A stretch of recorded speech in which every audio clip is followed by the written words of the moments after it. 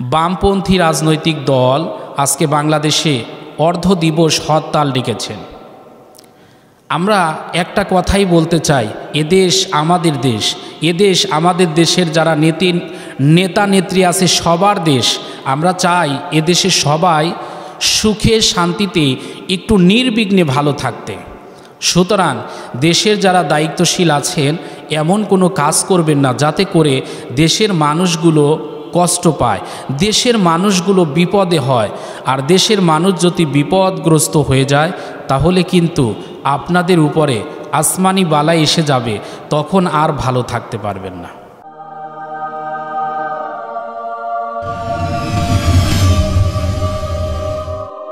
আসসালামু আলাইকুম রহমতুল্লাহি ওবরাকাত নাহমাদুহু নুসল্লি আলা রসুলহিল করিম আমাবাদ দূরে এবং কাছে, দেশে এবং প্রবাসে, যে যেখান থেকে আলোচনাটি শুনছেন, ওয়াজ মিডিয়া বগুড়ার পক্ষ থেকে আন্তরিক সালাম, শুভেচ্ছা এবং অভিনন্দন। আশা করছি আল্লাপাকের অশেষ মেহেরবাণীতে দেশের এই ক্লান্তি লগ্নেও ভালো আছে। মির্জা ফখরুল ইসলাম বিএনপির মহাসচিব বলেছেন, দেশকে এখন পুরাপুরিভাবে কারাগার বানানো হয়েছে। দেশ এই ক্লান্তি লগ্নে চলছে। দেশের মানুষেরা আজকে কথা বলতে গেলেই বিপদে পড়ে যাচ্ছে। আজকে হক কথা বললেই সেখানেই যেন বিপদ। কোরআনে করিমার ভাষ্য অনুযায়ী আমরা দেখতে পাই, শ্রেষ্ঠ জাতি তারা, যারা সৎ কাজের আদেশ করে এবং অন্যায় কাজে বাধা দেয় তারাই আসলে শ্রেষ্ঠ মানুষ। অথচ আমরা দেখতে পাচ্ছি আমাদের দেশে যারা সৎ কথা বলছে, সৎ কাজের আদেশ দিচ্ছে, তারাই বিপদে। যারা অন্যায় কাজে মানুষদেরকে বাধা দিতে যান, তারাই আজকে বিপদে পড়ে। তারা কারাগারে, অন্ধকার কারাগারে জীবন যাপন করছে। আজকে আমরা একটি নিউজ দেখতে পাচ্ছি। চা শ্রমিকেরা ছয় দফা দাবি নিয়ে প্রধানমন্ত্রীর কার্যালয়ে তারা সামনে অবস্থান করছে এছাড়াও বাংলাদেশে আজকে আমরা কিছুদিন ধরে দেখছি দ্রব্যমূল্যের ঊর্ধ্বগতি এমন হারে বেড়ে গেছে যার কারণে এদেশের মানুষেরা অধিকাংশ যারা শ্রমিক, মেহনতি মানুষ, খেটে খাওয়া মানুষ, যারা সারাটা দিন পরিশ্রম করে দুবেলা খাবার জোগাড় করে থাকে, এই মেহনতি মানুষরা আজকে দুমুঠ ভাত পাবে কি না সেই চিন্তায় যেন তারা ব্যাকুল হয়ে আছে। তাদের সন্তানের মুখে দুমুটো খাবার তুলে দেওয়ার জন্য বাবারা যেন সারা দিন কষ্ট করে যাচ্ছে, তারপরও আজকে তারা চিন্তিত।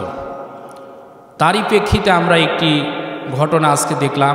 বামপন্থী রাজনৈতিক দল আজকে বাংলাদেশে অর্ধ দিবস হরতাল ডেকেছেন। আমরা একটা কথাই বলতে চাই এদেশ আমাদের দেশ এদেশ আমাদের দেশের যারা নেতি নেতা নেত্রী আছে সবার দেশ। আমরা চাই এদেশে সবাই সুখে, শান্তিতে, একটু নির্বিঘ্নে ভালো থাকতে।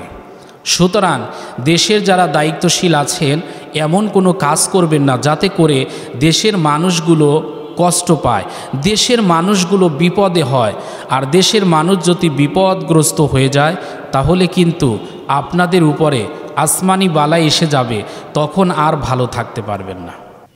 ইমামে আজম আবু হানিফা রহমাতুল্লাহ আলায় যার মাসলাক মেনে আমরা নামাজ পড়ি অধিকাংশ মানুষ, এ মানুষটা কেবলমাত্র, শুধুমাত্র একমাত্র সৎ কথা বলার কারণে সত্য কথা অপট, সত্য কথাগুলো মানুষের কাছে উপস্থাপন করার কারণে তাকে জীবনের শেষ মুহূর্তে জেলখানায় জীবন দিতে হয়েছে।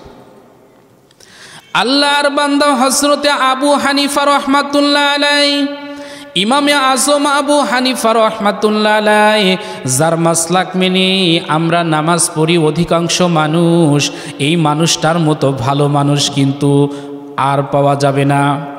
ইমামে আজম আবু হানিফা রহমাতুল্লাহ আলাইয়ের অসংখ্য ছাত্র ছিল। এই ছাত্রগুলোর ভিতরে আমরা দুইজন ছাত্রের নাম। বিভিন্ন কিতাবাদিবেতে দেখতে পাই। একজন হলো আবু ইউসুফ আর একজন হলো মোহাম্মদ। এই দুইজন ছাত্র মাঝে মাঝে ইমামে আজম আবু হানিফা রহমাতুল্লাহ আলাইকে দেখতে যাইতেন। ইমামে আজম আবু হানিফা রহমাতুল্লাহ আলাইকে ছেলে যখন দেখতে যাইত, যাওয়ার পর ডাক দিয়ে বলতো, হুজুর, দীর্ঘদিন যাবৎ জেলখানার ভিতরে আছেন। কেমন আছেন একটু জানতে চাই। ইমামে আজম আবু হানিফা রহমাতুল্লাহ আলাই ডাক দিয়ে বলতেন, আলহামদুলিল্লাহ হিরব্বিল আলমিন।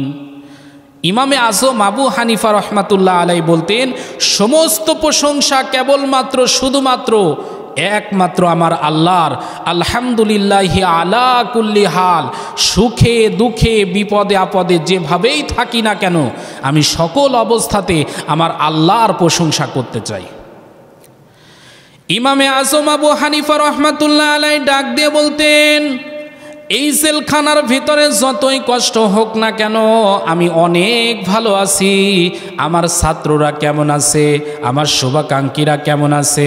তার মানে জেলে থাকা অবস্থায় যারা ভালো মানুষ, তারা শুধু নিজের চিন্তা করে না, দেশের চিন্তা করে, দেশের মানুষের চিন্তা করে।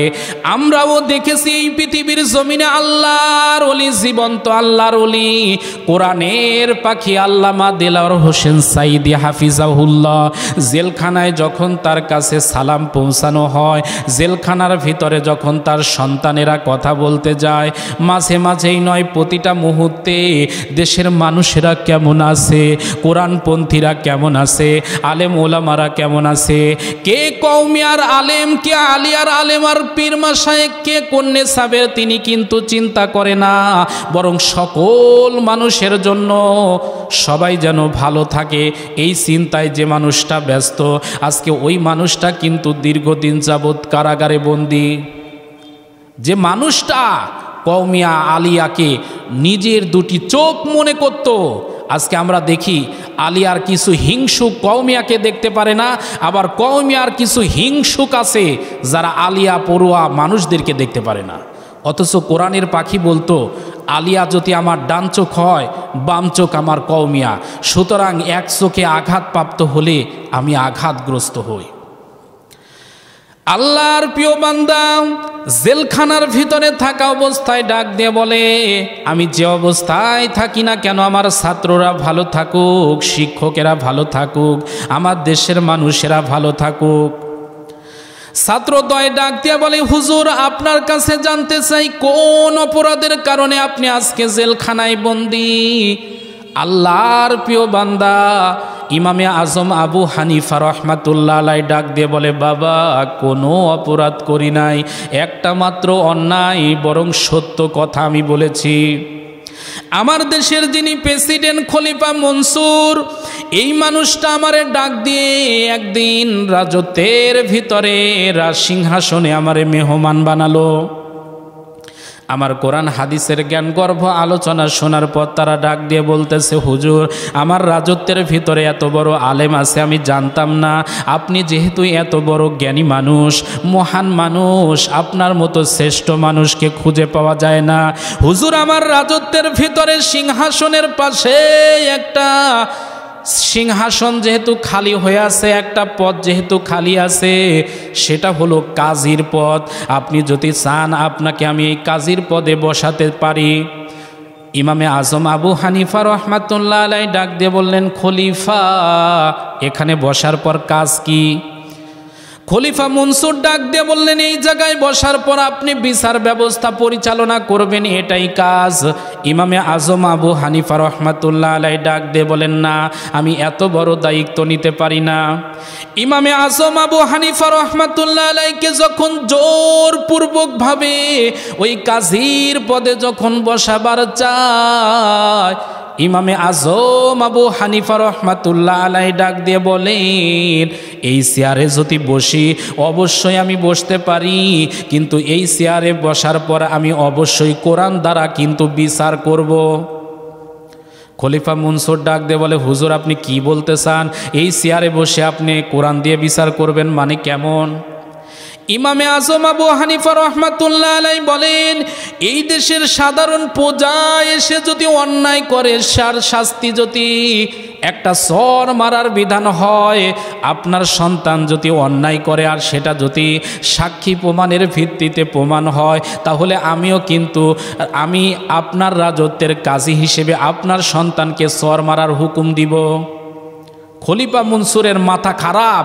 হুজুর হয়ে আপনি এত বড় কথা বললেন, আমার সন্তানকে আপনি বিচার করতে চান, আমার সন্তানকে আপনি মারতে চান? হুজুর, আপনার আর দেশে থাকা হবে না, আপনার এই জেলখানায় ঢুকায় দিলাম। শুধুমাত্র কেবলমাত্র একমাত্র হক কথা বলার কারণে ইমামে আজম আবু হানিফা রহমাতুল্লাহ আলাই জেলখানায়। আজকেও এই হক কথা বলার কারণে অধিকাংশ আলেমেরা আজকে জেলখানায় বন্দী। আজকে মুফতি আমির হামজার মতো ভাই আজকে জেলখানায় বন্দী। রফিকুল ইসলাম মাদানির মতো ছোট্ট মানুষ আজকে জেলখানায় বন্দী। আজকে মামুনুল হকের মতো মানুষ আজকে জেলখানায় বন্দী। মিজানুর রহমান আল আজহারির মতো মানুষ আজকে দেশ ছাড়া। তার মানে যারাই হক কথাগুলো ইমামে আজম আবু হানিফা রহমাতুল্লাহ আলাইয়ের মতো বলেন, তারাই আজকে বিপদে। ইমামে আজম আবু হানিফা রহমাতুল্লাহ আলাই জেলখানার ভিতরে আছে। সকাল সন্ধ্যা তার উপর অত্যাচার হয়, জুলুম হয়, নির্যাতন হয়। ইমামে আজম আবু হানিফা রহমাতুল্লাহ আলাইকে ডাক দে বলে, হুজুর এখনও সময় আছে, বাদশার সাথে ঐক্যমত পোষণ করেন। আপনার কাজীর পদ দেওয়া হবে, কেউ অপমানিত করবে না, লাঞ্ছিত করবে না। আপনি সম্মানের চেয়ারে বসে থাকবেন। সম্মান দেওয়ার মালিক যে আল্লাহ, ইজ্জত দেওয়ার মালিকও সেই আল্লাহ। আল্লাহ রব্বুল আলমিন বলেন অতু ইসু মাংতাসা অত মাংতাসা আল্লাহ পাক রব্বুল আলমিন বলেন, আমি আল্লাহ এমন একজন আল্লাহ যাকে ইচ্ছা তার সম্মানের চেয়ারে বসায়া দেয় আর আমি আল্লাহ যারে চাই সম্মানের আসন থেকে নামাইয়া তারে অপমানের জন্য লাঞ্ছিত করে চেয়ার থেকে ফেলে দেয় ইমামে আজম আবু হানিফা রহমাতুল্লাহ আলাই ডাক দিয়ে বলে, জাতির লোকেরা রে, যতই আমারে ভয় দেখাও না কেন, যতই আমারে অপমান করার কথা বলো না কেন, আমি যতক্ষণ পর্যন্ত বাঁচবো, আমার আল্লাহর জন্য বাঁচতে চাই, নবীজির জন্য বাঁচতে চাই, আমারে ভয় দেখালে হবে না। ইমামে আজম আবু হানিফার প্রতি খাবার দেওয়া হয় না, পানি দেওয়া হয় না অজু করতে দেওয়া হয় না। গোসলের ব্যবস্থা থাকে না, ছাত্ররা ডাক দিয়ে বলে, হুজুর, এত কষ্ট করে ছেলের ভিতরে আছেন সব চাইতে বেশি কষ্ট কোন সময় হয়? ইমামে আজম আবু হানিফা রহমাতুল্লাহ আলাই ডাক দিয়ে বলে, ছাত্ররা রে, এত কষ্ট দেয় কিন্তু আমার কষ্ট লাগে না। কিন্তু মাসের ভিতরে শেষের দিকে আমার আম্মাজানকে যখন জেলখানার ভিতরে নিয়ে এসে হাজির করা হয়, আমার মায়ের সামনে আমাকে লাঠি দ্বারা বেদ দ্বারা পিটানো হয়। ওরা চায়, আমি যখন কান্নাকাটি করব, আমার মা যেন বলে, বাবা, এদের সাথে তুই একত্রতা ঘোষণা করে দে, তুই বাতিলের সাথে হাত মিলিয়ে দে। আমি ওই সময় দুই চোখের পানিকেও হজম করি চোখ দিয়ে পানি বের করি না। আমার মায়ের দিকে আমি তাকিয়ে চিন্তা করি, আমার মা দুঃখিনী না জানি কি বলে। ইমামে আজম আবু হানিফা রহমাতুল্লাহ আলাই ডাক দিয়ে বলে, আমার মা দুঃখিনী এমন মনের মানুষ। আমার মা দুঃখিনী ডাক দিয়ে বলে, ইমাম আজম আবু হানিফারে নুমান ইবনে সাবিদ আমি তোর মা তোরে ওসিয়ত করতেছি। তোর যদি এই জেলের ভিতরে মৃত্যু হয়ে যায়, তোর যদি জেলের ভিতরেও মৃত্যু হয়, তুই মারা যাবি, কোনো অসুবিধা নাই, কিন্তু বাতিলের কাছে আপোষ করবি না। আমার মা আমাকে মার দেখে, আর আমার মা মারটা হজম করে, চোখ দিয়ে পানি বের করে না। আর ওসিয়ত করে, বাবা, মৃত্যু যে কোনো সময় আসবে। কুল্লু নাফসিন রাই কতুল মাহুদ মৃত্যু প্রত্যেকেরই হবে, কিন্তু সেই মৃত্যু যদি ইমানের সাথে হয়, সেই মৃত্যু যদি ইসলামের সাথে হয়, তবেই তো জীবন সফল কাম।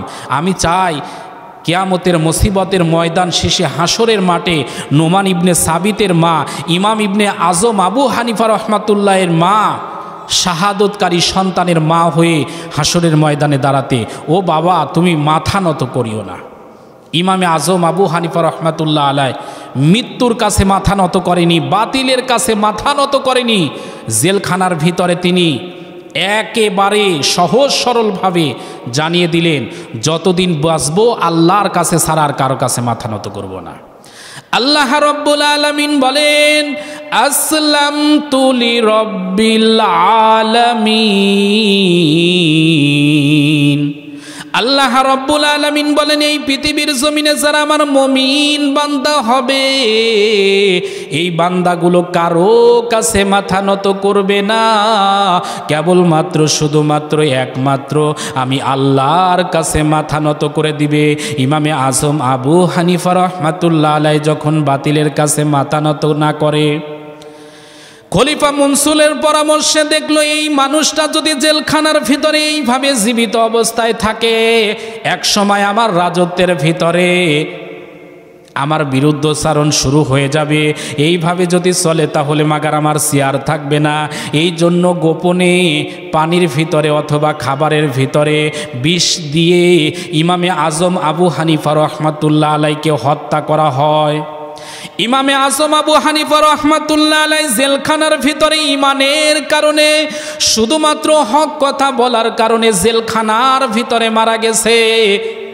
ইমামে আজম আবু হানিফা রহমাতুল্লাহর মতো। আজকেও যারা হক কথা বলে, তারা জেলখানার ভিতরে ফাঁসির রশি গলায় নিতে পারে। এমনকি তাদেরকে বিষ প্রয়োগ করে মারাও হতে পারে।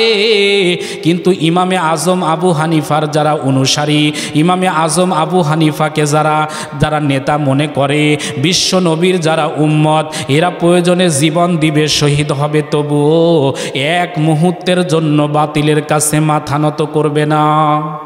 এই পৃথিবীর জমিনে আমরা সেই দৃশ্যই দেখি, যারা মমিন প্রকৃত পক্ষে আল্লাহ প্রেমিক প্রকৃত পক্ষে এরা প্রয়োজনে জীবন দেয়, শহীদ হয়, কিন্তু বাতিলের কাছে মাথা নত করে না। মমিন তো কখনো মাথা নত করে না। হোক না সে বন্দি কারাগারে। মমিন তো কখনো মাথা নত করে না। হোক না সে বন্দি কারাগারে। সুতরাং এই পৃথিবীর জমিনে যারা মমিন, তারা কখনো বাতিলের কাছে মাথা নত করতে পারে না। এই পৃথিবীর জমিনে যারা দেশপ্রেমিক নাগরিক, এরা কখনো স্বৈরাচারী শাসকের কাছে মাথা নত করতে পারে না। এজন্য দেশের যারা দেশপ্রেমিক আছেন, যারা ইসলামপন্থী আছেন, দল, মত নির্বিশেষে সবাই ঐক্যবদ্ধ হয়ে এদেশে যারা দ্রব্য মূল্যের ঊর্ধ্বগতিতে আগুন লাগিয়ে দিয়েছে, তাদের বিরুদ্ধে যদি আমরা সোচ্চার হতে পারি তাদের বিরুদ্ধে যদি আমরা কথা বলতে পারি, তাদের বিরুদ্ধে যদি দুর্বার আন্দোলন করতে পারি, এদেশ আবার স্থিতিশীল হবে, এদেশ আবার শান্তিময় হবে, এদেশের সাধারণ জনগণ বেঁচে থাকবে, ভালোভাবে থাকবে। আল্লাপাক সবাইকে দেশ এবং জাতির জন্য ভালো ভালো কাজ করার তৌফিক দান করুন। ওয়াখিরি দাওয়ানা আনিল হামদুলিল্লাহি রব্বিল আলমিন। আসসালামু আলাইকুম ও রহমতুল্লাহি ওবরকাতু